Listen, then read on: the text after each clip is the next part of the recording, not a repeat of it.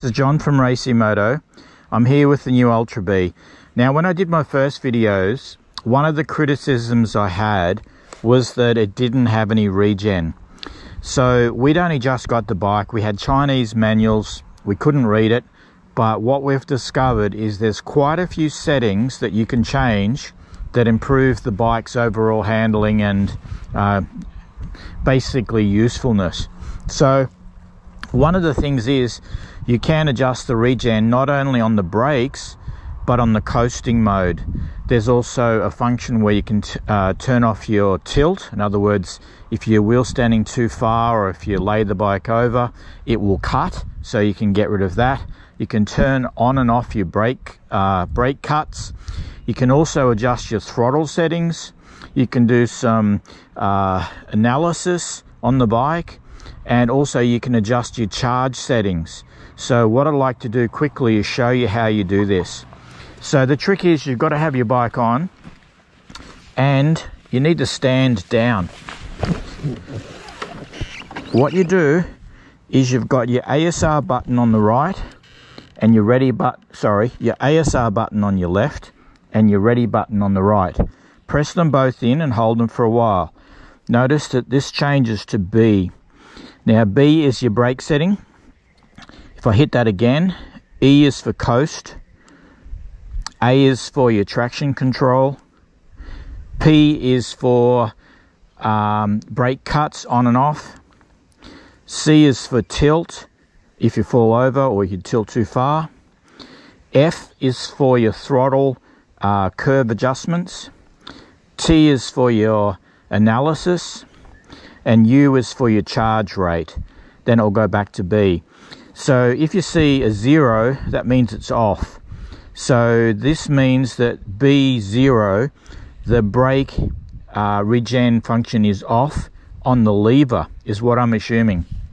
So what that means is when you touch your back brake, if you have regen, your back brake will activate the motor to slow you a little bit. Different to the coast mode. So this is your brake mode Coast mode is when you back off zero throttle, the level will uh, dictate how much regen you get in your coasting. Like a four stroke, when you back off, it will want to stop you. Okay, so we're, we're in the brake mode. Now, if I hit this uh, right hand button, the ready button, it will toggle me up. So I'm going to put that up to five. I like a lot of regen. I'm going to hit the right uh, left hand one again, take me to the coast mode. On the coast mode, I can take that up to five as well. ASR, traction control I don't normally use. Um, this one here is brake cuts, I do not like them, so zero brake cuts are off. This one tilt mode is off, which is good.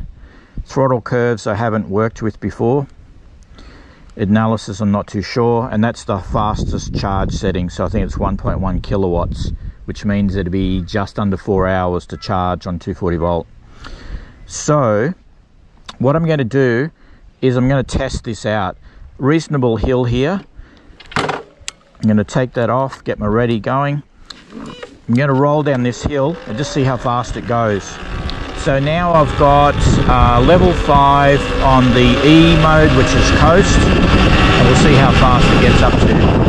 So we're up to 32 kilometers an hour, 33 maximum, and we'll just see where we stop.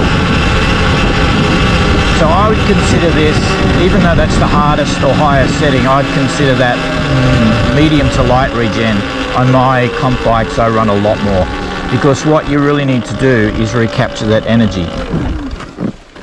Now remember with regen braking that if your battery is fully charged, you won't get it. You need to have uh, less than 95% battery charge or your regen will work. That's the protection of the battery. So if you're fully charged you go out you expect your regen, yeah, you won't get it. It'll uh, only work under those uh, that threshold 95. Okay, so what I'm going to do now, I'm going to change the setting. I'm going to change it down to zero zero, uh, zero side stand down. Okay, so this one here will make that zero, and this one here will make that zero. So that's zero regen braking on the br brake lever and zero on the coast, and we'll do the same thing. Now, last time we got up to 33 kilometers an hour. Let's just see how fast we go this time without the regen.